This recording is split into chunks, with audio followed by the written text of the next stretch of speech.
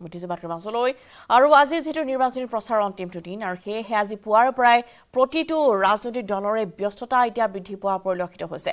ভোটাৰৰ মন আকৰ্ষণ কৰিবলৈ এতিয়া শেষ চেষ্টা ধুবুৰীৰ অগপৰ প্ৰাৰ্থী জাভেদ ইছলামৰ। এয়া ধুবুৰী কিছু আমি আগবঢ়াইছো। গুৱাহাটীৰ বাইক ৰেলী মুকলি কৰাৰ পিছতেই আজি মানকাছাৰলৈ ৰাওনা হৈছে মুখ্যমন্ত্ৰী হিমন্ত বিশ্ব শৰ্মা। মানকাছাৰ সভাত জাভেদ ইছলামৰ হৈ প্ৰচাৰ চলাব মুখ্যমন্ত্ৰীয়ে। ধুবুৰী তিনিগুণীয়া যুঁজত বৰদুদ্দিন আজমল আৰু ৰকিবুল হুছেইনক তীব্ৰ প্ৰত্যাহ্বান জনাইছে অগপৰ জাভেদ ইছলামে। আৰু জাভেদ ইছলামৰ হৈয়ে আজি মানকাছাৰত নিৰ্বাচনী প্ৰচাৰ সভা অংশগ্ৰহণ কৰিব মুখ্যমন্ত্ৰীগৰাকীয়ে। গুৱাহাটীৰ এই বিশাল বাইক ৰেলীৰ শুভ উদ্বোধনৰ পিছতে উদ্বোধন কৰাৰ পিছতে তেওঁ বৰ্তমান মানকাছাৰলৈ বুলি ৰাওনা হৈছে। জাভেদ ইছলামৰ হৈ আজি নিৰ্বাচনী প্ৰচাৰত অংশগ্ৰহণ কৰিব মুখ্যমন্ত্ৰীয়ে। আৰু তাৰ পিছতে তিনি আন তিনিখনকৈ জনসভা তেওঁ সম্বোধন কৰিব। আৰু ইতিমধ্যে আমি মানকাছাৰলৈ মানকাছাৰৰ দৃশ্য দেখুৱাইছোঁ জাভেদ ইছলামে এনেদৰে প্ৰতিগৰাকী ভোটাৰৰ মন আকৰ্ষণ কৰাৰ চেষ্টা চলাইছে। নিৰ্বাচনী প্ৰচাৰ সভালৈ অহা লোকসকলৰ সৈতে এনেদৰে মত বিনিময় কৰিছে বাৰ্তালাপ কৰিছে জাভেদ ইছলামে। এইবাৰ ধুবুৰীতে তিনিকুণীয়া যুঁজত বৰদুদ্দিন আজমল আৰু ৰকিবুল হুছেইনক তীব্ৰ প্ৰত্যাহ্বান জনাইছে অগপৰ জাভেদ ইছলামে ৰাইজ- এ, মুখ্যমন্ত্ৰী ডাঙৰীয়াক বিচাৰি আছিল মানকাছৰৰ ৰাইজে ধুবুৰীবাসী ৰাইজ। ইতিমধ্যে তিনিখন মিটিং তেখেতে কৰিছে যথেষ্ট সঁহাৰি পাইছোঁ আমি। আজিৰ মিটিংখনত আহ, আমি ফলপ্ৰসূ হ'ম। লোকাল মানুহ লোকাল লোকাল মানুহকে ভোট দিব নিশ্চিত। আৰু চৰ- ৰাইজে চৰকাৰমুখী হৈছে এতিয়া। ৰাইজৰ কেনেকুৱা? উন্নয়ন বিচাৰিছে ৰাইজে উন্নয়ন বিচাৰিছে চৰকাৰমুখী হৈছে ৰাইজে ইতিমধ্যে আমি গম পাইছো। আৰু বিগত দিনত পোন্ধৰ বছৰ আৰু মানুহৰ বিচৰা নাই। পোন্ধৰ বছৰত আমি যথেষ্ট ক্ষতি ক্ষতিগ্ৰস্ত হলো নেক্সট জেনেৰেশ্যনৰ কথা এতিয়া মানুহ ৰাইজে চিন্তা কৰি আছে। গতিকে আমি ভাবো যে নিশ্চিত আমি বিপুল সংখ্যক ভোটেৰে আমি জয়লাভ কৰিম ইনশাআল্লাহ। আৰু সেয়া জাভেদ ইছলামৰ মন্তব্য যে চৰকাৰমুখী হৈছে লোকসকল। গতিকে তেওঁলোকে বুজি পাইছে কি শুদ্ধ কি ভুল। আৰু সেইবাবে এনেধৰণৰ আৰু তেওঁ ইতিমধ্যে উল্লেখ কৰিছে যে এইবাৰ নিৰ্বাচন খুব আকৰ্ষণীয় হ'ব। ধুবুৰীৰ আৰু ধুবুৰীতেই জাভেদ ইছলামৰ প্ৰচাৰ অভিযান। এনেধৰণৰ অব্যাহত আছে। জাভেদ ইছলামৰ হৈ নিৰ্বাচনী প্ৰচাৰ চলাব আজি মুখ্যমন্ত্ৰীগৰাকীয়ে মানকাছৰত তেওঁ আৰু কিছু সময়ৰ পিছতে গৈ উপস্থিত হ'বগৈ। মিত্ৰজোঁটৰ প্ৰাৰ্থী অসম গণ পৰিষদৰ জাভেদ ইছলামৰ হৈ নিৰ্বাচনী প্ৰচাৰ সভাত অংশগ্ৰহণ কৰিব মুখ্যমন্ত্ৰীগৰাকীয়ে। আৰু যিহেতু আজি অন্তিমটো দিনৰ নিৰ্বাচনী প্ৰচাৰ বিয়লি পাঁচ বজাৰ লগে লগেই নিৰ্বাচনী প্ৰচাৰৰ অন্তি অন্ত পৰিব। আৰু সেইবাবে আজি দিনটোত প্ৰতিটো ৰাজনৈতিক দলেই নিজৰ নিজৰ প্ৰাৰ্থীক লৈ নিৰ্বাচনী প্ৰচাৰ অভিযান চলাই আছে। আজি শেষ সময় শেষ দিন। গতিকে সেই সময়খিনি সকলোৱে সদব্যৱহাৰ কৰিব বিচাৰিছে আৰু সেইবাবে পুৱাৰে পৰা আজি গুৱাহাটী মহানগৰীতো ভাৰতীয় জনতা পাৰ্টীৰ বিশাল বাইক ৰেলী দেখিবলৈ পোৱা গ'ল আৰু ইতিমধ্যে ৰাজীৱ ভৱনতো এটা বিশাল ৰোড শ্ব'ৰ আয়োজন কৰা হৈছে। ৰাজীৱ ভৱনতো ইতিমধ্যে কংগ্ৰেছে তেওঁলোকৰ নিৰ্বাচনী প্ৰচাৰ অভিযান অব্যাহত ৰাখিছে। মীৰা বৰঠাকুৰে সংবিধান হাতত লৈ ওলাই আহিছে। জনতাৰ মাজলৈ যোৱাৰ এটা প্ৰয়াস তেওঁ কৰা পৰিলক্ষিত হৈছে আৰু আনহাতে মানকাছৰত আজি নিৰ্বাচনী প্ৰচাৰ চলাব। প্ৰায় তিনি শতাধিক জমিয়তৰ আলিম সমাজৰ সদস্যই আজি যোগদান কৰিছে। মানকাছৰত সেয়া আন এক খবৰ। কিন্তু আৰু ইয়াৰ দৃশ্য আমি দেখুৱাইছোঁ যে ধুবুৰীৰ এয়া মানকাছৰ খোপাতীয়া হাইস্কুল খেলপথাৰত কংগ্ৰেছী বিধায়ক নুৰুল হুদাৰ নেতৃত্বত কংগ্ৰেছত আজি যোগদান কৰিছে জমিয়ত আলিম সমাজৰ সদস্যসকলে। ধুবুৰী লোকসভা সমষ্টিৰ মানকাছৰত কংগ্ৰেছতো আজি যোগদান দিছে দিছে প্ৰায় তিনি শতাধিক জমিয়তৰ আলিম সমাজৰ সদস্যই। মানকাছৰৰ খোপাতীয়া হাইস্কুল খেলপথাৰত কংগ্ৰেছী বিধায়ক নুৰুল হুদাৰ নেতৃত্বত কংগ্ৰেছত যোগদান কৰিছে জমিয়তৰ আলিম সমাজৰ সদস্যসকলে A I U D F প্ৰধান বৰদুদ্দিন আজমলৰ কাম কাজত অসন্তুষ্ট হৈ কংগ্ৰেছত যোগ দিয়াৰ ভাষ্য জমিয়তৰ আলিম সমাজৰ।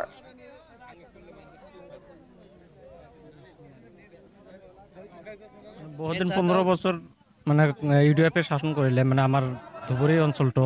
মানে কোনো ডেভেলপ কৰা নাই কোনো কাম কৰা নাই এইটো এনেকুৱা। সেইকাৰণে মই ভাবিছোঁ যে কংগ্ৰেছত যোগদান কৰিম। কংগ্ৰেছৰ শাসনকালত মানে আমাৰ দেশটো ভালে চলিছিল ইউ ডি এফ দল তো ত্যাগ কৰিছে তে- মানে আঠাইছ তাৰিখত ইউ ডি এফ দল ত্যাগ কৰিছে মানে ইউ ডি এফ দলৰ তিনিশ মান শতাক আলিম তিনিশ প্ৰায় তিনিশ আলিম ইউ ডি এফ দলকে ত্যাগ কৰিছে মৌলানা বদৰুদ্দিন আজমলৰ কাৰণেই আৰু তেখেতৰ ইয়াত মানে আহ, বলিষ্ঠ কিবা আহ, মানে ই ৰাখিছে তেখেতৰ মানুহবিলাক ৰাখিছে এই মানুহবিলাকে আহ, এই আলিমবিলাকক গালে গালি কৰাৰ কাৰণে এ- এখেতে ইউ ডি এফ দল ত্যাগ কৰি আমাৰ কংগ্ৰেছ দল আৰু আৰশাদ মদানী হুজুৰৰ জমিয়তত আহ, সমৰ্থন কৰিছে আমি নিজ ইচ্ছা কৰি আমি কংগ্ৰেছত জইন হৈ আছো। আপোনালোকে এ আই ডি এফৰ লগত আমি এ ডি এফৰ লগত আৰু নাই সিহঁতৰ মিথ্যা দল এটা সিহঁতৰ ভুৱা দল সিহঁত আমাৰ কৌমৰ লগত ৰাজনীতি কৰি আছে সিহঁতৰ মুছলমান আৰু হিন্দুৰ মাজত ভাগ কৰিব বিচাৰি আছে আমি আৰু ইহঁতৰ লগত নাই। আৰু শ্বাহজাহান আলীৰ এক ৰিপৰ্ট আগবঢ়াইছোঁ। হয় তৃতীয় পৰ্যায়ৰ নিৰ্বাচনৰ মাত্ৰ এটা দিন থকাৰ পিছতে কিন্তু দেখা গৈছে যে বিভিন্ন ৰাজনৈতিক দলে নিৰ্বাচনী প্ৰচাৰৰ তুংগত ৰখা পৰিলক্ষিত হৈছে। ইতিমধ্যে কিন্তু ধুবুৰী লোকসভা সমষ্টিৰ যি হাজিৰাত আছে হাজিৰাত আহ, যি আহ, খেলপথাৰ আছে খোপাটীয়া খেলপথাৰত কিন্তু ইতিমধ্যে দেখা গৈছে যে ই আই ডি এফ দল ত্যাগ কৰি যিসকল আলিম ওলামাসকল আছে আলিম ওলামাসকল কিন্তু কংগ্ৰেছ দলত কিন্তু যোগদান কৰা পৰিলক্ষিত হৈছে। ইয়াৰ সামগ্ৰিক দৃশ্য মই নিউজ এইটিনৰ অসম নৰ্থ ইষ্টৰ দৰ্শকক দেখুৱাম। এয়া হৈছে দক্ষিণ হৰ্মা মানকাছৰ জিলাৰ যি হাজিৰাট অঞ্চল আছে খোপাটীয়া খেলপথাৰত কিন্তু বিধায়ক নুৰুল হুদাৰ উপস্থিতি কিন্তু যি মুফতি মৌলানাসকল আছে মুফতি মৌলানাসকল কিন্তু ই আই ডি এফ দল ত্যাগ কৰি কিন্তু ইতিমধ্যে কংগ্ৰেছ দলত যোগদান কৰা পৰিলক্ষিত হৈছে। যিহেতু ই আই ডি এফৰ প্ৰধান বদৰুদ্দিন আজমলে কিন্তু পোন্ধৰ পোন্ধৰ বছৰকৈ ভোট দিছিল তিনিবাৰৰ সাংসদ আছিলে। তিনিবাৰৰ সাংসদৰ যি কাৰ্যকলাপ যি কাৰ্য- কাৰ্যকৃষ্টি চাই কিন্তু যি মৌলানা মুফতিসকল আছে মৌলানা মুফতিসকল কিন্তু অসন্তুষ্টি হৈ কিন্তু ইতিমধ্যে কিন্তু আজি কংগ্ৰেছ দলত যোগদান কৰা পৰিলক্ষিত হৈছে। যিহেতু আজমলে কৈ থাকে যে মৌলানা মুফতিসকল মোৰ লগত আছে। আজি কিন্তু দেখা গৈছে যে তাৰ বিপৰীত ছবি বিপৰীত ছবি কিন্তু দেখা গৈছে যে বিধায়ক নুৰুল হুদাৰ উপস্থিতিত কিন্তু যিসকল আলিম ওলামাসকল আছে জমিয়তৰ যিসকল মুফতি মৌলানাসকল আছে মুফতি মৌলানাসকল কিন্তু ইতিমধ্যে কিন্তু কংগ্ৰেছ দলত যোগদান কৰা পৰিলক্ষিত হৈছে। মোৰ সৈতে বিধায়ক নুৰুল হুদা ডাঙৰীয়া আছে মই কথা পাতিবলৈ যত্ন কৰিম। ডাঙৰীয়া যিহেতু আজি দেখা গৈছে যে আজিৰ পৰা প্ৰায় পাঁচদিন আগতো প্ৰায় চাৰে তিনিশ আলিম ওলামা ভাৰতীয় জাতীয় কংগ্ৰেছ দলত যোগদান কৰিছে এ এফ দল ত্যাগ কৰি। আজিও খুপতিৰ এই বৃহত্তৰ অঞ্চলৰ পৰা শ শ আলিম ওলামা ওলাই স্বইচ্ছাৰে ওলাই আহি এ ডি এফ দল ত্যাগ কৰি ভাৰতীয় জাতীয় কংগ্ৰেছ দলত যোগদান কৰি- কৰিছে। মই তেওঁলোকক ধন্যবাদ আৰু কৃতজ্ঞতা জ্ঞাপন কৰিছোঁ। এই সময়ত তেওঁলোকে বুজি পাইছে তেওঁলোক জাতিৰ প্ৰতি দায়বদ্ধ। ভাৰতবৰ্ষ গণতান্ত্ৰিক ৰাষ্ট্ৰ আৰু এই গণতান্ত্ৰিক ৰাষ্ট্ৰখনৰ যি সংবিধান এই সংবিধানৰ ধৰ্মনিৰপেক্ষতা বৰ্তাই ৰখাৰ কাৰণে আজি সকলো আলেম ওলামা ওলাই আহিছে। মই তেওঁলোকক স্বাগতম জনাইছোঁ ধন্যবাদ জনাইছোঁ কৃতজ্ঞতা জ্ঞাপ- জ্ঞাপন কৰিছোঁ। তেওঁলোকৰ যোগদানে আমাৰ কংগ্ৰেছৰ ভেটি আৰু শক্তি- শক্তিশালী কৰিছে। আৰু ভেটি খহিছে আজমলৰ আৰু এনেদৰে আলিম সমাজৰ তিনি শতাধিক সদস্যই যোগদান কৰিছে কংগ্ৰেছত। আনহাতে আমি ইতিমধ্যে জনাইছো যে অন্তিম ক্ষণত আজি তৃতীয় পৰ্যায়ৰ নিৰ্বাচনী প্ৰচাৰ। আজি সন্ধিয়া পাঁচ বজাত সামৰণি পৰিব তৃতীয় পৰ্যায় তথা অসমৰ অন্তিম পৰ্যায়ৰ নিৰ্বাচনৰ প্ৰচাৰ অভিযান। অন্তিমটো দিনত আজি গুৱাহাটী লোকসভা সমষ্টিৰ বিজেপিৰ প্ৰাৰ্থী বিজুলী কলিতা মেধিৰ হৈ প্ৰচাৰ। মুখ্যমন্ত্ৰী হিমন্ত বিশ্ব শৰ্মাৰ। ইয়াক খানাপাৰাৰ দৃশ্য আমি দেখুৱাইছো। মহানগৰীত আজি মুখ্যমন্ত্ৰীয়ে মুকলি কৰিলে বিজেপিৰ বিশাল এক বাইক ৰেলী। খানাপাৰা খেলপথাৰৰ পৰা লতাশিল খেলপথাৰলৈ বাইক ৰেলী উলিয়াই প্ৰচাৰ চলালে বিজুলী কলিতা মেধিৰ হৈ। মহানগৰ বিজেপিৰ বিশাল বাইক ৰেলী মুকলি কৰিলে যদিও সময়ৰ অভাৱৰ বাবে ভাগ ল'ব নোৱাৰিলে মুখ্যমন্ত্ৰীয়ে। খানাপাৰাৰ পৰা পোনে পোনে মানকাছাৰলৈ বুলি ৰাওনা হ'ল মুখ্যমন্ত্ৰী ডক্টৰ হিমন্ত বিশ্ব শৰ্মা আৰু আনহাতে গুৱাহাটী মহানগৰীৰ মাজমজিয়াৰে লতাশিললৈ এই বিশাল বাইক ৰেলী উলিওৱা হয়। প্ৰায় তিনি হাজাৰৰ অধিক বিজেপিৰ সমৰ্থক বিজেপিৰ সদস্যই অংশগ্ৰহণ কৰিলে য'ত অসম গণ পৰিষদৰ বহু যুৱ ভোটাৰে তাত আজি অংশগ্ৰহণ কৰিছে।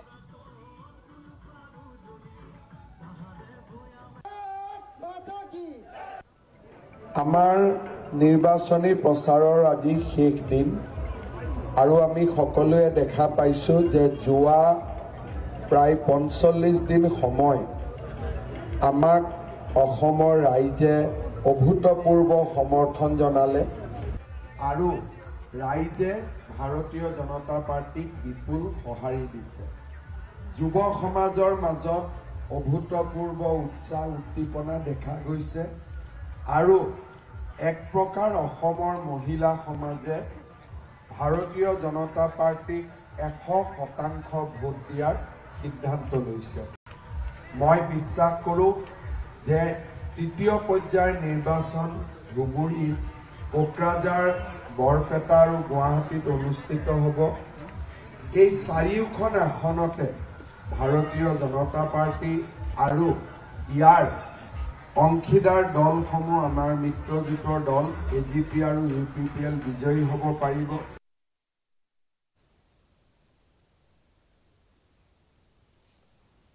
আৰু মুখ্যমন্ত্ৰীয়ে আহ, মানকাছাৰলৈ যোৱাৰ পূৰ্বে তেওঁ ভাষণ ৰাখিলে। আৰু এয়া আমি দেখুৱাইছোঁ য'ত আজি পুৱাৰ ভাগত আজি বন্ধটোৰ দিন আৰু সেয়েহে পুৱাৰ ভাগতে এনেদৰে মহানগৰী জি এছ ৰোডৰ এটা ফাল সম্পূৰ্ণৰূপে এটা বিশাল বাইক ৰেলীয়ে আবদ্ধ কৰি ৰাখে। পুনৰ দেশত মোদী চৰকাৰ আকৌ এবাৰ মোদী চৰকাৰৰ শ্লোগানেৰে আজি এই নিৰ্বাচনী গীতেৰ গীত লগাই আজি এই বিশাল বাইক ৰেলী মহানগৰীৰ মাজমজিয়াৰে অগ্ৰসৰ হ'ল লতাশিল খেলপথাৰলৈ। য'ত পাঁচ হাজাৰো অধিক সদস্যই আজি অংশগ্ৰহণ কৰিছে ভাৰতীয় জনতা পাৰ্টী আৰু অসম গণ পৰিষদৰ দুয়োটা দলৰ যুৱ সদস্যসকলে আজি বিশাল বাইক ৰেলী উলিয়াই বাইক আৰু স্কুটি প্ৰায় তিনি হাজাৰো অধিক সদস্যই ইয়াত অংশগ্ৰহণ কৰা পৰিলক্ষিত হয়।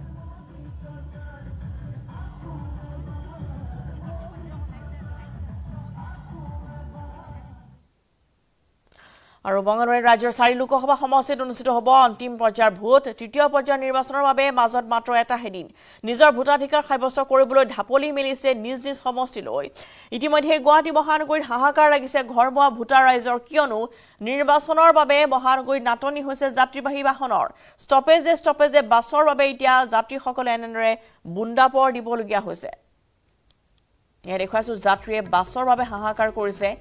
যিহেতু মঙলবাৰে ৰাজ্যৰ চাৰি লোকসভা সমষ্টিত অনুষ্ঠিত হ'ব অন্তিম পৰ্যায়ৰ ভোট আৰু গতিকে এই ভোটদান দিবলৈ নিজৰ নিজৰ স্থানলৈ নিজৰ নিজৰ সমষ্টিলৈ ৰাওনা হৈছে ভোটাৰসকল। কিন্তু নিজৰ ভোটাধিকাৰ সাব্যস্ত কৰিবলৈ যাবলৈ এতিয়া বাহনৰ অভাৱ ঘটিছে এইসকল যাত্ৰীৰ বাবে।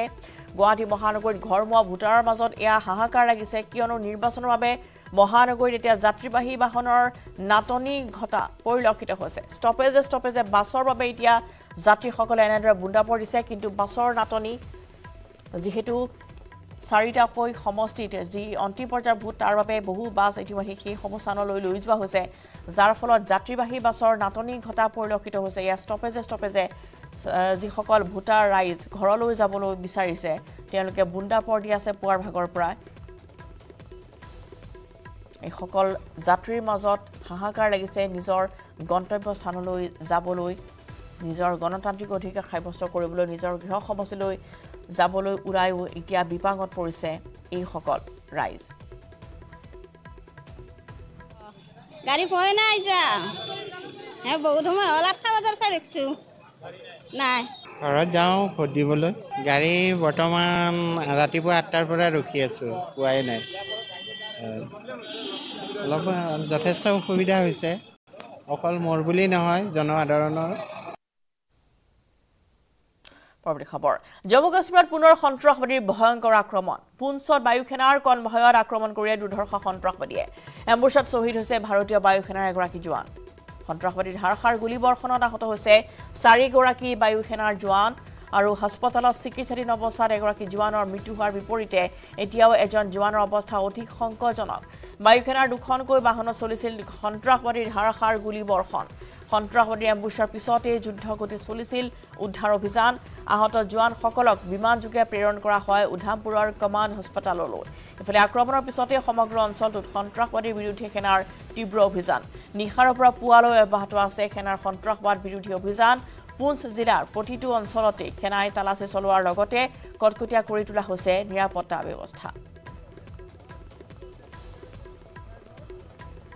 দেখুৱাইছো চাৰিগৰাকী বায়ু সেনাৰ জোৱান চিকিৎসাধীন হৈছে তিনিটাকৈ দৃশ্য য'ত ইতিমধ্যেই এই কনভয়ৰ যি আক্ৰমণৰ ঘটনা সংঘটিত হৈছে তাৰপিছতে এয়া জম্মু কাশ্মীৰত নিৰাপত্তাৰক্ষীৰ টহল দি থকা পৰিলক্ষিত হৈছে পুঞ্চত। সন্ত্ৰাসবাদীৰ ভয়ংকৰ আক্ৰমণৰ পিছতে এতিয়া এনেধৰণে নিৰাপত্তা অধিক তীব্ৰতৰ কৰি তোলা হৈছে। পুঞ্চত বায়ু সেনাৰ কনভয়ত আক্ৰমণ কৰিছিল দুৰ্ধৰ্ষ সন্ত্ৰাসবাদীয়ে। এম্বুছত ভাৰতীয় বায়ু সেনাৰ এগৰাকী জোৱান হৈছে শ্বহীদ। সন্ত্ৰাসবাদীৰ ধাৰাসাৰ গুলীবৰ্ষণ। এই গুলীবৰ্ষণত চাৰিগৰাকী বায়ু সেনাৰ জোৱান আহত হয়। হাস্পতালত চিকিৎসাধীন অৱস্থাত এগৰাকী জোৱানৰ মৃত্যু হোৱাৰ বিপৰীতে এতিয়াও এগৰাকী জোৱানৰ অৱস্থা অধিক সংকটজনক।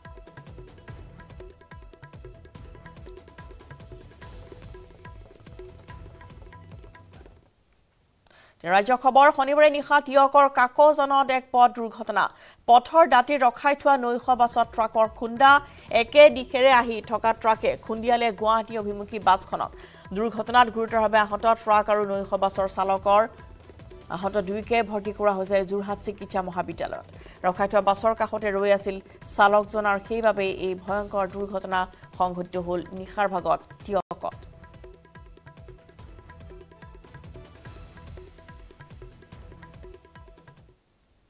মাত্ৰ সময় হৈছে এটি বিৰতি এইটো মাইথান ষ্টীল নহয়। অ ওচৰ চুবুৰীয়াসকলে লগাইছে।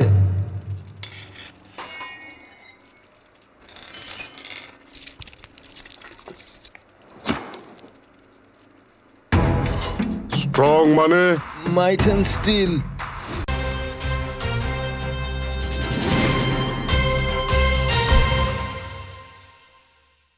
মোৰ কাজিৰঙাৰ প্ৰেমত পৰিছিল মিত্তিয়া Uh, yes, uh, this is peaceful. It's very peaceful, beautiful. It's green. It's unforgiving. It's also full of life. I keep coming back because this place has a very special place in my heart. 1998, a very long time ago, and I keep coming back since then. The last five years has been five times, or three or four times, something. I, I lost count. Uh, it's useless. I keep coming back anyway. কাজিৰঙাৰ শান্ত বাতাবৰণ তথা সেউজ প্ৰকৃতিৰ মাজত বন্যজন্তুৰ বিচৰণৰ দৃশ্যই মুগ্ধ কৰিছিল বিদেশী পৰ্যটকগৰাকীক বিশেষকৈ তেওঁ অন্তৰৰ নিৰ্ভীত কোণত সাঁচ বহুৱাইছিল কাজিৰঙাৰ এশিঙীয়া গড়বোৰে সেয়েহে প্ৰথমবাৰ তেওঁৰ কেমেৰাত বন্দী হোৱা গড়ৰ ছবি তাতো অংকন কৰি ল'লে শৰীৰত কাজিৰঙাৰ আকৰ্ষণত বন্দী বিদেশী পৰ্যটকগৰাকীয়ে ইতিপূৰ্বে ছবাৰকৈ কাজিৰঙালৈ অহাৰ পাছত সপ্তমবাৰৰ বাবে উপস্থিত হয় কাজিৰঙাত। দীঘলীয়া সময় কাজিৰঙাত অতিবাহিত কৰিব বিচৰা মিত্তিয়াছে এইবাৰো এফালৰ পৰা উপভোগ কৰিছে কাজিৰঙাৰ ৰাষ্ট্ৰীয় উদ্যানৰ প্ৰতিটো বনাঞ্চলৰ মনোমোহা ৰূপ লাৱণ্য কেমেৰাত বন্দী কৰিছে প্ৰতিক্ষণৰ ৰোমাঞ্চকৰ অভিজ্ঞতা। কাজিৰঙাৰ পৰা Bitupan Bora report news eighteen. Assam north east.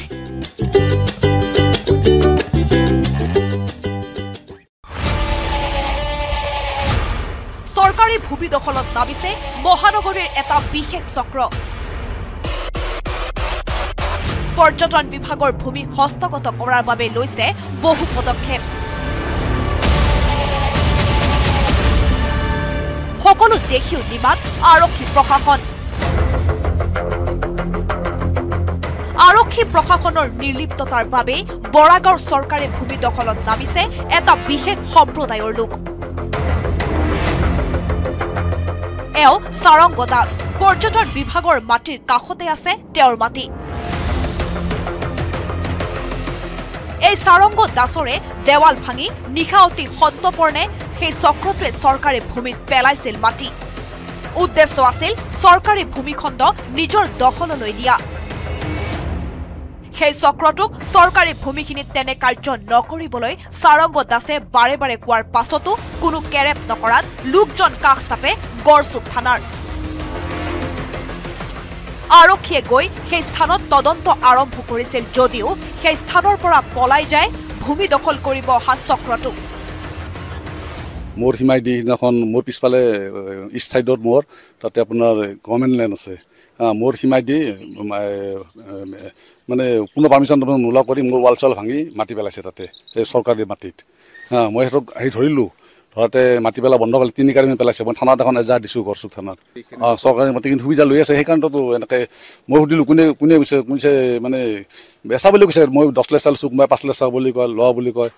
মোৰ যিটো চৰকাৰী মাটি কেনেকৈ আপোনালোকে ল'ব। মোৰ বেয়া লাগিছে মোৰ সীমাই দি পাৰ হৈ গৈ ৱাল ভাঙি মাটিকেও পেলাব। কেনেকৈ হাক পালে কালিতো মোৰ মাটিখিনিও দখল কৰি পেলাব। চাৰংগ দাসে দুৰ্বৃত্তৰ দলটোৰ সেই কাৰ্যৰ বিৰুদ্ধে সমগ্ৰ কাণ্ড বিৱৰি মুখ্যমন্ত্ৰীৰ লগতে জিলা উপায়ুক্ত আৰু চক্ৰ বিষয়াকো লিখিত অভিযোগ দিছে। চৰকাৰী মাটি যেন কোনে যেন হস্তক্ষেপ কৰিব নোৱাৰে এইটো এই কথাটো মই মাননীয় মুখ্যমন্ত্ৰীক জনাম। আৰু আপোনাৰ চাৰ্কল অফিচাৰক চি মহোদয়কো জনাম। কাৰ আশীৰ্বাদত বৰাগাঁৱৰ চৰকাৰী ভূমিত চকু দিছে এই বিশেষ চক্ৰটোৱে? সকলো দেখিও কিয় নিমাত হৈ থাকে চৰকাৰী যন্ত্ৰ? আৰক্ষীৰ নিৰ্লিপ্ততাৰ বাবেই হেৰুৱাৰ উপক্ৰম হৈছে চৰকাৰী ভূখণ্ড। এই ক্ষেত্ৰত সংশ্লিষ্ট কৰ্তৃপক্ষই সেই চক্ৰটোৰ বিৰুদ্ধে কঠোৰ পদক্ষেপ কেতিয়া গ্ৰহণ কৰিব সেয়া ডাঙৰ প্ৰশ্ন গুৱাহাটীৰ পৰা বিৰিঞ্চি কুমাৰ ডেকাৰ report news eighteen Assam north east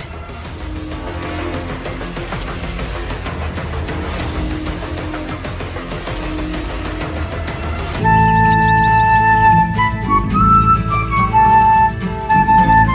কেঁচা তুষাৰৰ দৰে কাজিৰঙাৰ তৃণভূমিত এতিয়া শুভ্ৰ ৰাজচাদন বাৰিষাৰ প্ৰাক্ষণত সকলোৰে মন প্ৰাণ হৰি নিব পৰা এক নয়নাভিৰাম দৃশ্যৰে উজলি উঠিছে কাজিৰঙাৰ ৰাষ্ট্ৰবিদ্যানৰ তৃণভূমি। তাতে সূৰ্যৰ কিৰণ পৰি উদ্ভাসিত হৈ পৰা শুভ্ৰতাখিনি শুৱগা চৰাইছে গড় হৰিণা মহ আদি বন্যজন্তুৰ জাকে। দেশ বিদেশৰ পৰ্যটকৰ বাবে অৱশ্যে স্মৰণীয় ক্ষণৰ সাক্ষী হ'ব পৰা এই মনোমোহা দৃশ্য ৰাষ্ট্ৰীয় উদ্যানখনৰ বুঢ়া পাহাৰ বনাঞ্চলৰ। ফেব্ৰুৱাৰী মাৰ্চ মাহত হোৱা কণ্ট্ৰল বাৰ্ণিঙৰ পাছত ৰাষ্ট্ৰীয় উদ্যানখনৰ মাজেৰে বৈ যোৱা মহাবাহু ব্ৰহ্মপুত্ৰৰ চাপৰি অঞ্চলত গজি উঠা নতুন তেজপুৰত বিশ্ব হাস্য দিৱস উদযাপন। আন বছৰৰ দৰেই এইবাৰো মাজগাঁও জাতীয় শ্বহীদ বাকৰি তেজপুৰৰ বহুজনে ভাগ ললে বিশ্ব হাস্য দিৱসত। পুৱাৰ পৰাই হাঁহি হাঁহি সম্ভাষণ জনালে এজনে আনজনক। আনকি হাঁহি হাঁহি সমদলো বাহিৰ কৰিলে সকলোৱে। স্বাস্থ্য ৰক্ষাত হাঁহিৰ উপযোগিতা বুজাবলৈকে এই আয়োজন কৰিলে তেজপুৰবাসীয়ে। ঊনৈছশ আঠানব্বৈ চনত চিকিৎসক মদন কাটাৰিয়াই মুম্বাইত আৰম্ভ কৰিছিল বিশ্ব হাস্য দিৱসৰ। ধাৰ্য কৰিছিল হাঁহিৰ বাবে এটা বিশেষ দিন। ঊনৈছশ আঠানব্বৈ চনত আৰম্ভ কৰা হাঁহিৰ এই দিনটোক দুহেজাৰ এক চনত স্বীকৃতি দিলে ৰাষ্ট্ৰসংঘই। আৰু তেতিয়াৰ পৰা মে' মাহৰ প্ৰথমটো দেওবাৰে বিশ্ববাসীয়ে পালন কৰি আহিছে বিশ্ব হাস্য দিৱস। তেজপুৰত দুহেজাৰ চাৰি চনত প্ৰতিষ্ঠা কৰা হাস্য সংঘই দুহেজাৰ ন চনৰ পৰাই প্ৰতি বছৰে এনেদৰে মাজগাঁও জাতীয় শ্বহীদ বাকৰিত পালন কৰি আহিছে হাস্য দিৱসৰ কাৰ্যসূচী। আজি পুৱাৰ ভাগতে পতাকা উত্তোলনৰ জৰিয়তে সদস্যসকলে ৰাজপথত বাহিৰ কৰিলে হাঁহি সমদল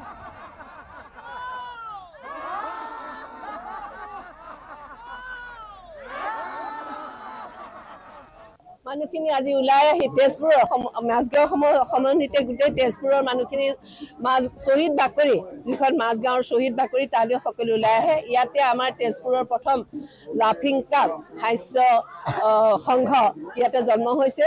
পোন প্ৰথম? মদন কাটাৰিয়া দেৱে বম্বেত এই হাস্য দিৱসটো পালন কৰিছিল। আৰু আজি গোটেই বিশ্বৰ প্ৰায় দুশ ঊনষাঠিখন দেশে ইয়াক পালন কৰিছে। হাঁহিৰে মানুহৰ যে জীৱনটো কিমান সুন্দৰ হয়। মানুহে হাঁহিব পাৰিলে নিজৰ স্বাস্থ্য নিৰোগী হয় আৰু বহুত দীৰ্ঘজীৱী হয়। তাৰোপৰি হাঁহি থাকিলে বুকু শ্বাস প্ৰশ্বাস শুদ্ধ হয় হাওঁফাওঁ আহ, বেলেগক হহুৱাব পাৰে। একোটাখন হাঁহিৰে তোমাৰ মুখ হাঁহিৰ মুখখনে অন্যকো হহুৱাব পাৰে। আৰু হাঁহি থকাটোৱে এটা মানুহৰ জীৱন। কাৰণ কেঁচুৱাটো জন্ম হৈয়ে কান্দি কান্দি অন্যক হহুৱায় তাৰপিছত তাৰ মুখৰ এখা- এ- এটা হাঁহিয়ে সকলোকে হহুৱাই তোলে। বিশ্ব হাস্য দিৱস ইয়াৰে প্ৰথম উদাহৰণ যে আমি হাঁহি হাঁহি জীয়াই থাকোঁ। আৰু এনেদৰে বিশ্ব স্বাস্থ্য দিৱসৰ দিনটোত আজিৰ দিনটোত এনেদৰে দেখিবলৈ পোৱা গ'ল যে বহু সংখ্যক লোকে অংশগ্ৰহণ কৰিছে তেজপুৰত। আৰু এইখিনি মুহূৰ্তত যিহেতু নিৰ্বাচনী প্ৰচাৰ অভিযান কংগ্ৰেছে আৰম্ভ কৰিছে অন্তিমটো দিন আজি আৰু পোনপটীয়া সম্প্ৰচাৰৰ বাবে এই মুহূৰ্তত আমি ৰাজীৱ ভৱনলৈ লৈ গৈছোঁ। মীৰা বৰঠাকুৰৰ সমৰ্থনত এটা বিশাল ৰেলী তাত বাহিৰ কৰা হৈছে। আৰু এই মুহূৰ্তত আমাৰ জ্যেষ্ঠ সংগীত বিপুল বৰ্মন আছে পোনপটীয়া সম্প্ৰচাৰত বিপুল আমি আপোনাৰ পৰা জানিব বিচাৰিছোঁ এই মুহূৰ্তত তাৰ পৰিৱেশ। হয় ৰশ্মিতা ইতিমধ্যে এই শোভাযাত্ৰা আৰম্ভ হৈছে আৰু এই মুহূৰ্তত আমি দেখিছোঁ যে বিৰোধী ঐক্য মঞ্চৰ কেইবাটাও দলৰ বহু সংখ্যক আহ, বহু সংখ্যক তেওঁলোকৰ নেতা কৰ্মী আৰু এই সমদলত ভাগ লৈছে কিনকিনীয়া বৰষুণ দিছে আৰু তাৰ মাজতে এই ধৰণে ৰাজীৱ ভৱনৰ পৰা আৰম্ভ হোৱা ৰেলী গৈ সামৰণি পৰিব মানৱেন্দ্ৰ কমপ্লেক্সৰ দিছপুৰত। আৰু ইয়াত জিতেন্দ্ৰ সিঙে অংশগ্ৰহণ কৰিছে অংশগ্ৰহণ কৰিছে বিৰোধী দলপতি দেৱপ্ৰ শইকীয়া আৰু ভূপেন কুমাৰ বৰা আছে বিধায়িকা আৰু ইয়াতে নন্দিতা দাস আমি তেখেতক দেখা পাইছো পি এল পিৰ সভাপতি চৰণ ডেকা আছে গতিকে আমি জিতেন্দ্ৰ সিং আৰু ইয়াত সাংসদ অজিত কুমাৰ ভূঞাও আছে আমি জিতেন্দ্ৰ সিং ডাঙৰীয়াৰ পৰা এটা মন্তব্য ল'ব বিচাৰিছো ছাৰ यहाँ तो मैं ये कहना चाहूँगा इस मौके पर कि आप देख रहे हैं कितनी विशाल आज रैली निकल रही है। और ये जो चुनाव है, ये मीरा जी अकेले नहीं लड़ रही है कांग्रेस पार्टी अकेले नहीं है। गुवाहाटी की जनता ये चुनाव लड़ रही है। क्योंकि गुवाहाटी के अंदर इतनी समस्याएँ हैं, अभी बारिश हो रही है यहाँ। थोड़ी देर और बारिश हुई तो ये स्विमिंग पूल बन जाएगा। यहाँ जीएमसी के नाम से जो वसूली हो रही है, जो आज इस पूरे क्षेत्र के अंदर जो माफिया चल रहा है जमीनों का घोटाला हो रहा है इससे लोग परेशान हैं इसलिए जनता चुनाव लड़ आपको रही है उम्मीद कैसे है ये इस बार इलेक्शन सौ आसाम में? प्रतिशत जीत होगी गुवाहाटी की जनता की जीत होगी থেংক ইউ হয় জিতেন্দ্ৰ সিঙৰ আমি এক্সক্লুচিভ ইণ্টাৰভিউ ল'লো আৰু এতিয়া আহ, যিধৰণে এই খোলা জীপত খোলা জীপত বিৰোধী দলপতিৰ সৈতে তত্বাৱধায়ক জিতেন্দ্ৰ সিং তেখেতে আৰু ইয়াতেই আহ, বিধায়িকা নন্দিতা দাসক আমি দেখিছোঁ ভূপেন বৰা সভাপতি তেখেতো আহিছে দাদা ৰেলীলৈ যাব কি ক'ব এই মুহূৰ্তত লাইভত সুধিছোঁ লাইভত এই মুহূৰ্তত আমি লাইভত আছোঁ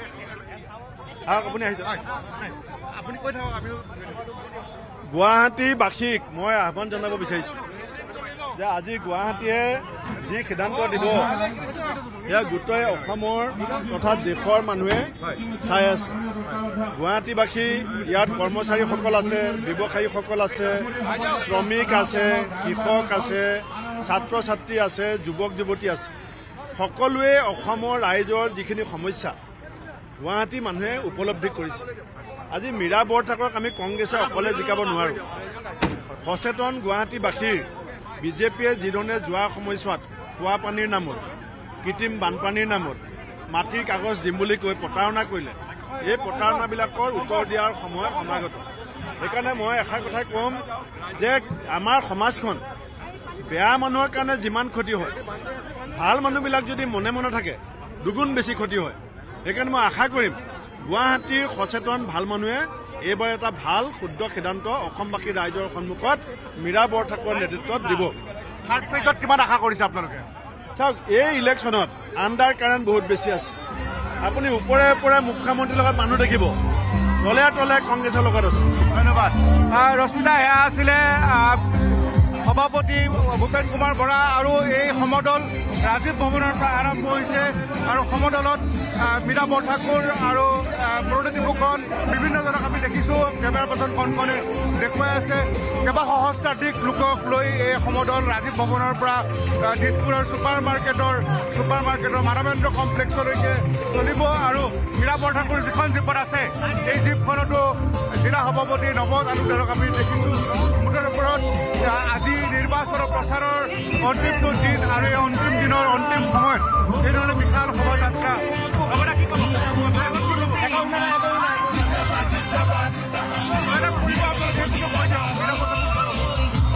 মীৰা অতি বৃহৎ জয়ৰ সৈতে গুৱাহাটী লোকসভাৰ সাংসদ হ'ব গৈ আছে মীৰা বৰঠাকুৰ গুৱাহাটী লোকসভাৰ সাংসদ হ'বলৈ গৈ আছে। এনেধৰণে মন্তব্য আগবঢ়াইছে গুৱাহাটী মহানগৰ কংগ্ৰেছ কমিটিৰ সভাপতি নৱ তালুকদাৰে আৰু এই মুহূৰ্তত ৰেলী যিহেতু আৰম্ভ হৈছে কেইবা সহস্ৰাধিক লোক। ৰশ্মিতা আপোনাৰ জৰিয়তে আমি দেখুৱাইছোঁ আমাৰ কেমেৰা পাৰ্চন কংকনে দেখুৱাই আছে। আৰু ইয়াতে কেন্দ্ৰীয় নেতৃত্ব তেওঁলোকৰ কেইবাজনো আহিছে ছাথে আহিছে। আৰু লগতে জিতেন্দ্ৰ সিং আৰু ভূপেন কুমাৰ বৰা আৰু বিৰোধী দলপতি বিৰোধী দলপতি দেৱপ্ৰসাদ শইকীয়াৰ মাতৃ প্ৰাক্তন মেয়ৰ প্ৰাক্তন মন্ত্ৰী প্ৰাক্তন মন্ত্ৰী হেমপ্ৰভা শইকীয়াকো এই ৰেলীত আমি দেখিছোঁ।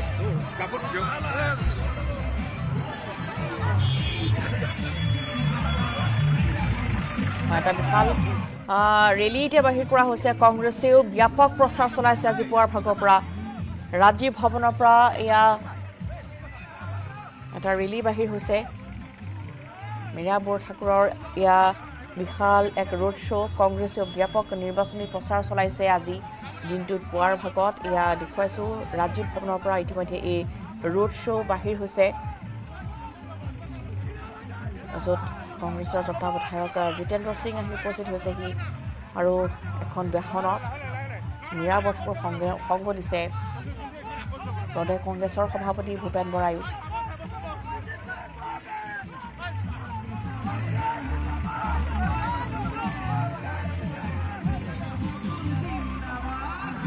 লগতে হেমপ্ৰভাত শইকীয়া তেওঁ আজি পুৱাৰ ভাগত আহি উপস্থিত হৈছেহি ৰাজীৱ ভৱনত। যিটো আজি অন্তিমটো দিন আৰু ইয়াৰ পোনপটীয়া সম্প্ৰচাৰ জি এছ ৰোডৰ পৰা এয়া ৰোড শ্ব' মীৰা বৰঠাকুৰৰ ৰোড শ্ব' বাহিৰ হৈছে। কংগ্ৰেছেও চলাইছে নিৰ্বাচনী প্ৰচাৰ অভিযান আৰু ইতিমধ্যেই ভূপেন বৰাই উল্লেখ কৰিছে যে বাহিৰে বাহিৰে বিজেপিৰ সৈতে মানুহ আছে। বিজেপিৰ সৈতে তেওঁলোকৰ জনসভাসমূহত মানুহ হৈছে কিন্তু ভিতৰি ভিতৰি জনতা আমাৰ সৈতে আছে। অৰ্থাৎ ভিতৰি ভিতৰি কংগ্ৰেছৰ সৈতে আছে জনতা বাহিৰে বাহিৰে আছে বিজেপিৰ সৈতে। গুৱাহাটী ৰাইজে এই পবিত্ৰ গন্ধ সংবিধান সুৰক্ষাৰ স্বাৰ্থত সাত তাৰিখে আমাক ভোটদান কৰিব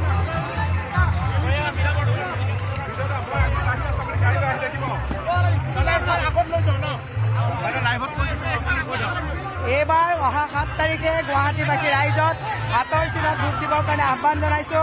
সংবিধান পবিত্ৰ গ্ৰন্থখনক যাতে সুৰক্ষা কৰে তাৰ কাৰণে ৰাইজক ভোটদান কাৰণে আহ্বান জনাইছো। আৰু মোৰ বিশ্বাস এইবাৰ মই জিকিম। সকলোকে ওলাই আহিব দিছো যুৱ প্ৰজন্ম মাতৃ সমাজ কৃষক সমাজ ব্যৱসায়ী সমাজ শ্ৰমিক সমাজ মহিলা সমাজ সকলোকে মই কৈছো। সকলো ওলাই বৃদ্ধ সমাজ যিখন আজি বৃদ্ধ যিসকল বনিতা আছে তেওঁলোকৰ অধিকাৰ চন্ন কৰা হৈছে মেডিচিনৰ দাম বৃদ্ধি কৰা হৈছে ভেজাল মেডিচিন আজি প্ৰয়োগ কৰা হৈছে। বাক স্বাধীনতা খৰ্ব কৰা হৈছে। Save our constitution and cast your vote in favour of constitution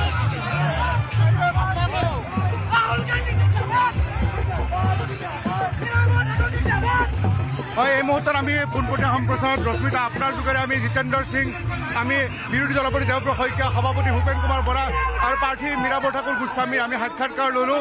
এক উদুলি মুদুলি পৰিৱেশ বিৰাজ কৰিছে।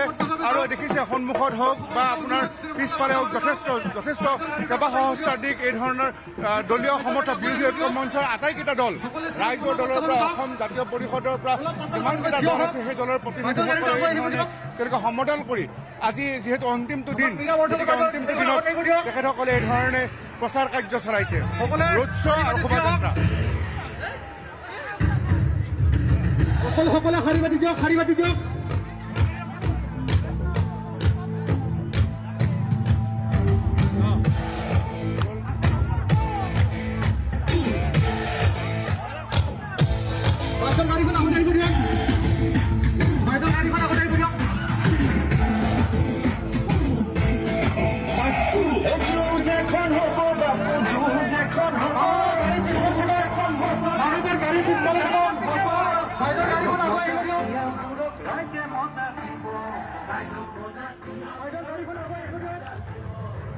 আৰু এয়া কংগ্ৰেছৰ ব্যাপক প্ৰচাৰ অভিযান। যথেষ্ট সংখ্যক মহিলাই অংশগ্ৰহণ কৰিছে আৰু ভাৰতীয় সংবিধান হাতত লৈ নিৰ্বাচনী প্ৰচাৰত নামি পৰিছে কংগ্ৰেছৰ প্ৰাৰ্থী মীৰা বৰঠাকুৰ।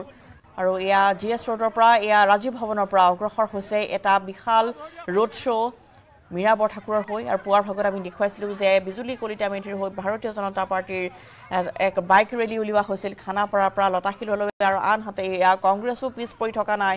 মীৰা বৰঠাকুৰৰ এক বিশাল ৰোড শ্ব' দেখিবলৈ পোৱা গৈছে। ৰাজীৱ ভৱনৰ পৰা মানৱেন্দ্ৰ শৰ্মা প্ৰকল্পলৈ এয়া ৰোড শ্ব' বাহিৰ কৰা হৈছে। কংগ্ৰেছৰ লগতে ৰাইজৰ দলৰ নেতা কৰ্মীসকলেও আজি অংশগ্ৰহণ কৰিছে এই ৰোড শ্ব'ত ৰশ্মিতা ইয়াত কিনকিনীয়া বৰষুণকো নেওচি। কেইবা সহস্ৰাধিক লোকে এই ধৰণে ৰাজীৱ ভৱনৰ পৰা ছুপাৰ মাৰ্কেটৰ লাষ্ট গেটৰ যি মানৱেন্দ্ৰ শৰ্মা কমপ্লেক্স আছে সেই কমপ্লেক্সলৈকে এই শোভাযাত্ৰা তেওঁলোকে অংশগ্ৰহণ কৰিছে। এয়া ৰোড শ্ব' আৰু ইয়াত আমি কেইবাটাও বিৰোধী ঐক্য মঞ্চৰ আন কেইবাটাও দলৰ প্ৰতিনিধিসকলক দেখিছিলোঁ। আৰু এই মুহূৰ্তত আমাৰ কেমেৰা পাৰ্চন কংকনে দেখুৱাই আছে যে কংগ্ৰেছৰ নেতা কৰ্মীসকলে বিৰোধী ঐক্য মঞ্চৰ নেতা কৰ্মীসকলে তেওঁলোকে কিনকিনীয়া বৰষুণ বৰষুণ অকণমান ডাঙৰ হৈছে। তথাপিও তেওঁলোকে তেওঁলোকে এই শোভাযাত্ৰাত তেওঁলোকে অংশগ্ৰহণ কৰিছে। গায়ন বায়ন লৈ বিহু দল লৈ বিহু হুঁচৰি দল লৈ তেওঁলোকে এই প্ৰচাৰ কাৰ্য চলাইছে মানুহ ওলাই আহিছে মহানগৰৰ যিবিলাক সমস্যা আগৰ কুইন ওজা ডাঙৰীয়ানীয়ে বা বিজয় ডাঙৰীয়ানীয়ে সমাধান কৰিব নোৱাৰে। সেইকাৰণে যুঁজ এখন ধুনীয়া হ'ব। ৰাইজে এবাৰ মাত্ৰ সঁহাৰি পাব আৰু বিপুল ভোটত মীৰা বাইদেউ জিকি আহিব এইবাৰ মীৰা বাইদেউ জিকিবই লাগিব মীৰা বাইদেউৰ জয় জয় ৰাইজৰ মীৰা বাইদেউৰ জয় কংগ্ৰেছৰ জয় মীৰা বাইদেউৰ জয় অসমৰ জয়।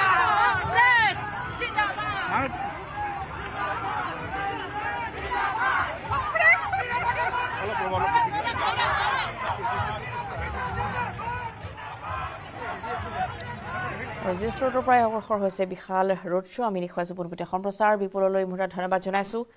জি এছ ৰোডৰ পৰাই পোনপটীয়া সম্প্ৰচাৰ আমি আগবঢ়ালোঁ। মীৰা বৰঠাকুৰৰ প্ৰচাৰত কংগ্ৰেছৰ লগতে ৰাইজৰ দলৰ কৰ্মী অংশগ্ৰহণ কৰিছে আৰু এতিয়া ৰাজীৱ ভৱনৰ পৰা এয়া বিশাল যি ৰোড শ্ব' বাহিৰ কৰা হৈছে অগ্ৰসৰ হৈছে মানৱেন্দ্ৰ শৰ্মা প্ৰকল্পলৈ।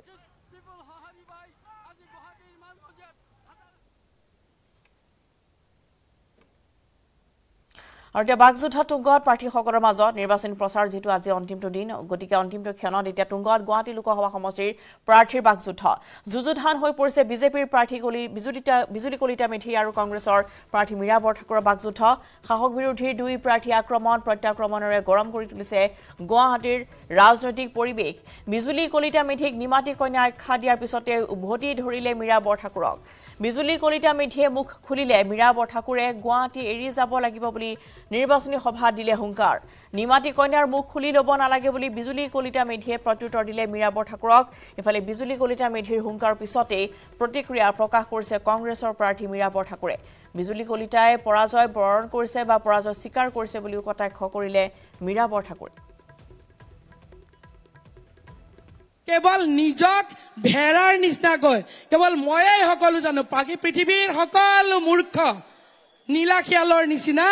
আৰু যেতিয়া সেই কথাটো ওলাব যেতিয়া নীলা শিয়ালে যেতিয়া বাকী শিয়ালবোৰক লগ পাইছিল আৰু যেতিয়া সেই হোৱা শব্দ ওলাইছিল। আমাৰ সেই বিৰোধী প্ৰাৰ্থীগৰাকীও ঠিক তেনেকুৱাই। য'তে পায় ত'তে গৈ নীলা শিয়ালৰ নিচিনাকৈ প্ৰথমতে নিজকে ৰজা বুলি দেখুৱাই তাৰপিছত অৰ পা খেদা খাই তত যায় তৰ পা খেদা খাই তত যায়। তেওঁৰ কোনো কিন্তু স্থিতি নাই। এতিয়া কংগ্ৰেছৰ এই দুবন্ত নাৱত উঠিছে। তাৰপিছত বা আৰু ক'ত যায়? গতিকে ইমান মিছা কথা ৰাতিপুৱাৰ পৰা ৰাতিলৈ কেৱল মিছা তেওঁক মোতকৈ আৰু বেছি ভালদৰে কোনো নাজানে। গতিকে সেইকাৰণে মই কৈছো যে এই নিমাতী কন্যাৰ মুখখন খুলি নোলোৱাই ভাল। কাৰণ নিমাতী কন্যাৰ যদি মুখ খুলিব লাগে তেতিয়াহ'লে তেওঁক কাণ বন্ধ কৰাটো বেলেগে কথা ইয়াৰ পৰা পলাব লাগিব। তাৰমানে তেওঁলোকৰ কিমান মানসিক সন্তুলন হেৰাই গৈছে হাৰিম বুলি স্বীকাৰ কৰি ল'লে। নহ'লে এগৰাকী প্ৰাৰ্থীয়ে সংসদলৈ যাব। মই কেতিয়া মই এতিয়াও শুভেচ্ছা দিছোঁ তেওঁক। মোক এতিয়া এইমাত্ৰ সাংবাদিকে কৈছে যে আপোনাক বহুত বেয়াকৈ কৈছে তেওঁ বোলে মুখ খুলিলে মই গুৱাহাটী এৰি যাব লাগিব। মই কৈছোঁ মুখ খোলক মই আপত্তি নাই। মইতো সদায় খোল্লাম খোল্লা ঘূৰি থকা মানুহ ইমান দিনে মুখ খোলা নাই কিয়? মই দেখোন মুখ খুলিয়ে আছোঁ। মই বিজেপিৰ ভ্ৰষ্টাচাৰ দুৰ্নীতিৰ বিষয়ে কৈয়ে আছোঁ। গতিকে মই এটা কথা কৈছোঁ তেওঁ যে সংসদলৈ যোৱাৰ যোগ্যতা হেৰুৱাই পেলাইছে সেইটোৱে প্ৰমাণ কৰে যে তেওঁ ৰাজন মোৰ যুদ্ধ ৰাজনৈতিক যুদ্ধ। মই আজিলৈকে মুখ্যমন্ত্ৰীক ব্যক্তিগত কেতিয়াবা কটাক্ষ কৰা দেখিছে নেকি? মই বিজুলী কলিতা মেধিক কেতিয়াবা ব্যক্তিগত কটাক্ষ কৰা দেখিছে নেকি? যিজনী মানুহে ব্যক্তিগতভাৱে মোক অজানিতে নজনাকৈ তেওঁ কটাক্ষ কৰি মূৰ পুলুকা মাৰিব বিচাৰিছে। ইয়ে প্ৰমাণ কৰিলে যে তেওঁৰ যোগ্যতা তেওঁ ইতিমধ্যে হেৰাই পেলালে। তেওঁ সংসদৰ কাৰণে যাবৰ যে যোগ্যতা নাই নিজেই প্ৰমাণ কৰিলে। মইতো অপেন ৰাজহুৱাভাৱে মই ঘূৰি থকা এগৰাকী মহিলা। ইমান দিনেনো কেলৈ মুখ খোলা নাছিলে? গতিকে মই সেইটোৱে কৈছোঁ যে মোৰ শুভেচ্ছা আছে মোৰ বিজুলীলৈ শুভেচ্ছা আছে। আৰু এটা কথা কৈছোঁ যদি সংসদলৈ যাব বিচাৰিছে তেতিয়াহ'লে টলাৰেঞ্চটো লাগিব। হাৰিম বুলি ছ'চিয়েল মিডিয়া বা ৰাইজৰ এই সমাগম দেখি সন্তুলন যদি হেৰাই মোক ব্যক্তিগতভাৱে কটাক্ষ কৰে ইয়ে প্ৰমাণ কৰে যে দিল্লীলৈ তেওঁ যোৱাৰ যোগ্যতা হেৰুৱাই পেলালে।